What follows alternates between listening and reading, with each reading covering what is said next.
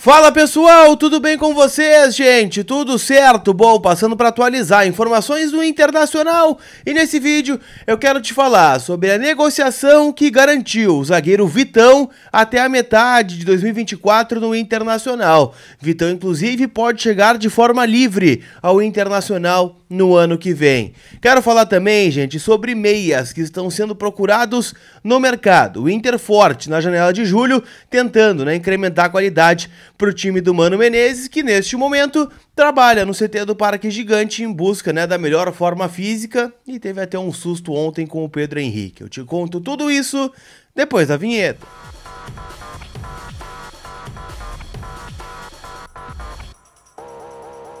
Tudo bem, gente? Vamos trocar uma ideia então. E nesse vídeo eu quero começar falando de dentro do campo e depois a gente vai, né, para as negociações do Colorado. Afinal, né, o Inter se prepara, né, para encarar o Curitiba lá no dia 22, parada FIFA, ainda sete dias, ou melhor, seis dias agora de treinos, né? O Inter intercalando entre atividades com um turno e dois turnos, né? Ontem o Colorado treinou de manhã e de tarde. Nessa sexta-feira, né? Acredito que também muito por conta das fortes chuvas, né? Espero que estejam todos bem aí do outro lado. É, o Inter treinará apenas no período da tarde, né? No CT do Parque Gigante, né? Colocando um pouquinho, né? Da parte física, recuperação técnica de jogadores, né? O Mano junto com sua comissão técnica, né? O Fedato Filho que é o coordenador de performance, e o Flávio Oliveira, preparador físico, tentando colocar né, o Internacional nos trilhos. Ontem, durante a atividade, o Pedro Henrique né, sofreu um choque com o René, né? Joelho com joelho, uma cena muito feia. Inclusive o Mano terminou, né, a atividade mais cedo por conta deste lance. É, tudo bem, tá? Ele botou gelo e tal, aquela coisa, não é nada muito mais grave. O Inter que já tem o DM um pouco lotado, né? O Inter que tirou o Gabriel de lá, afinal tá treinando normalmente, essa é a boa notícia, né? Tá 100% liberado pelo departamento médico, pode ser relacionado para o jogo contra a equipe do Coxa, né, lá no dia 22, né? Imagino que não vai começar o jogo, mas estará, né, com a delegação e com possibilidade de entrar em algum momento da partida. É, mas o Inter ainda tem, né, peças que se esperava ter, né, durante a parada FIFA e que dificilmente, né, estarão treinando, né, nesse período, devem ficar muito mais no departamento médico, departamento de fisiologia, fisioterapia, né, para tentar colocar, né, tudo no prumo durante esta parada. Eu estou falando aqui do Maurício, né, que teve um problema no ombro, né, no clássico Grenal, lá, lá faz tempo, né, o Grenal, mas ele não voltou desde então, né? Teve um choque com o Kahneman naquela oportunidade e deslocou a clavícula, né? São seis jogos que ele tá fora e ainda não voltou aos treinos. Alguns atrelam isso, né? A possibilidade de venda do Maurício, né? O André Cury deu algumas declarações por aí, né? Mas eu, até onde eu sei, não tem nada concreto em relação ao Maurício. A ideia do Inter, inclusive, né? É que o Maurício ficasse até o final do ano porque o Inter tem um porém em relação a esse jogador. O Inter tem só 50% do passe do atleta. Ou seja, numa negociação de 8 milhões de euros, o Inter ficaria com apenas 4. E o Inter quer pelo menos 8. Então teria que ser uma negociação de 16 milhões de euros, ou alguém abrir mão da sua parte, o Cruzeiro ou o próprio Maurício, e o Inter ficar com uma quantidade maior de dinheiro. Afinal, o Colorado orçou lá, né, no seu balancete, 130 milhões de reais em venda de jogadores. O Johnny deve sair também, mas a gente sabe que isso não é suficiente para que o Colorado, né, consiga bater esta meta. É, Depena também está no departamento médico. O Inter trabalha né, a questão da lesão muscular na coxa. A previsão inicial é de 3 a 4 semanas. O Inter vai trabalhar muito para que ele esteja apto no jogo contra o Medellín né, lá no dia 28, a decisão né, do Internacional na Copa Libertadores da América.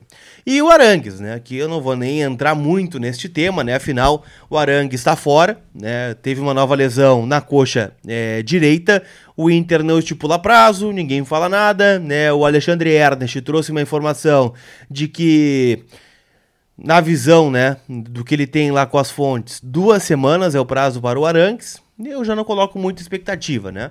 Vamos ver como é que se sai o chileno em relação a tudo isso. Mas o fato é que o Inter está treinando, ainda não há nenhum esboço de time ideal, aquela coisa toda, mas né, o Inter se preparando para a sequência que é dura, né? Dois jogos fora de casa na volta da data FIFA, Curitiba no dia 22 e o América Mineiro lá em Belo Horizonte no dia 25 no final de semana.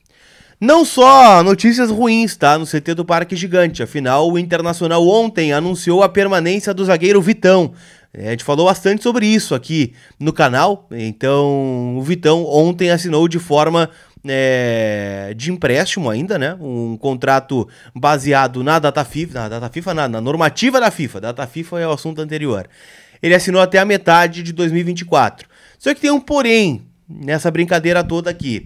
O Vitão chegou ao Internacional lá em 2022 em cima dessa normativa, né, de jogadores da, Tur da Ucrânia e da Rússia, né, que tem o conflito acontecendo, que não se sentiram confortáveis, poderiam, né, congelar os contratos e a partir daí jogar em outro clube. O Internacional aproveitou com o Vitão. Trouxe o Wanderson, é verdade, mas é, foi uma negociação aí direto com o Krasnodar, é, contratou o Depena, mas também foi uma negociação direto com o Dinamo Kiev, e o Vitão não. O Vitão o Inter usou da normativa para trazê-lo para cá. A negociação não passa pelo Inter. Né? A normativa da FIFA é direto entre clube e jogador. Né? O jogador comunicou o Shakhtar, olha, é, não me sinto confortável ainda para voltar para a Ucrânia e quero né, ficar aqui no Internacional. E assim aconteceu. Vitão assinou então até o meio de 2024. Vai ficar mais um ano aqui no Internacional. Só que né, o contrato do Vitão com o Shakhtar encerra na metade de 24. E como o contrato está congelado, ele encerra, ele vai ficar livre no mercado. A não ser que a FIFA mude lá na frente a sua regra, né, mude alguma questão. O Shakhtar tem uma vitória na justiça, afinal o Shakhtar já foi atrás porque perdeu muitos jogadores nessa normativa. É, só que todas as vezes que o Shakhtar entrou né, na justiça, acabou perdendo né, para a FIFA é, neste argumento.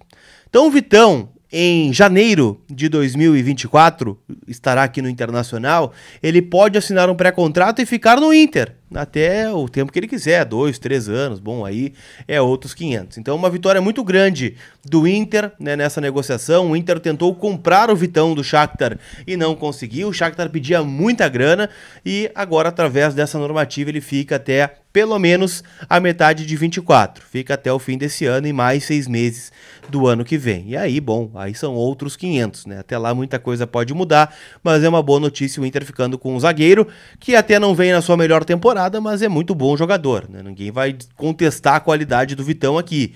Então é um ótimo atleta e o Inter fica com um ótimo ativo aí também no clube. Beleza?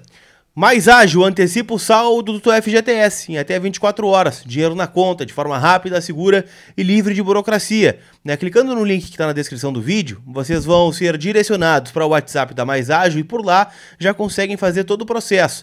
E até menos de 24 horas, tem relatos de uma hora, 30 minutos, o dinheiro cai na conta, tá bom? Até 10 saques você pode antecipar com a Mais Ágil, combinado? Link na descrição. Espero que vocês se livrem aí de problemas financeiros com a Mais Ágil.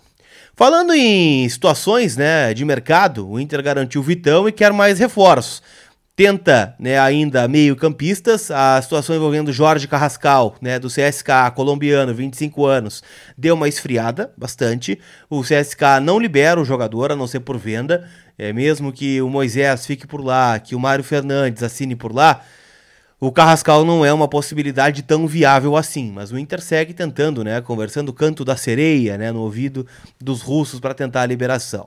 Alguns outros nomes estão sendo especulados, né, Martegani, o próprio Rojas, né, que está em vias de ser anunciado pelo Corinthians, teria dado, né, uma, uma quebra aí nas luvas que ele teria para receber. É, se falou ontem no Zalazar também, né, uruguaio do Schalke 04, eu não tenho informação sobre isso, tá? A que eu tinha era sobre o Carrascal, que o Inter estaria tentando, consegui a confirmação com uma pessoa muito importante do clube.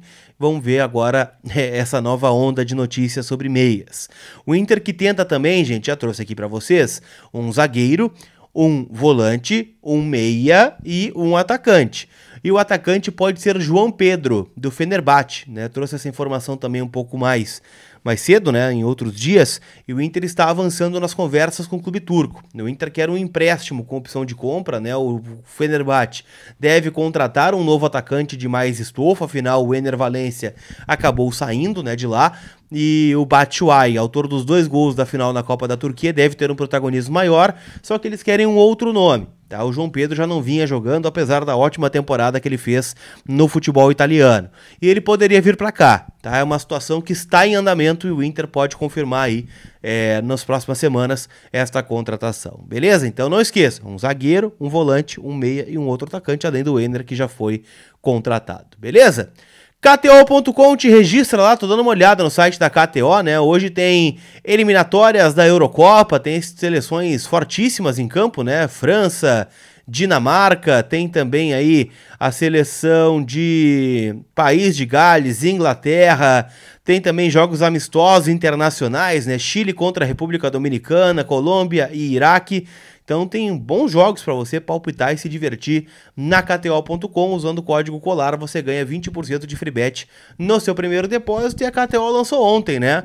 As KTOs. Quem faz mais gols em 2023 no Brasileirão? Luiz Soares ou Ener Valência? Eu já deixei a dica aqui, né? Minha aposta é no Ener Valência. Ele faz mais gols que o Soares, mesmo que o Soares já tenha dois gols de vantagem, tá? Então eu tô apostando no nosso equatoriano, beleza? Aquele abraço, não vai embora sem deixar o teu like, sem te inscrever e sem ativar as notificações. A gente se vê. Fui!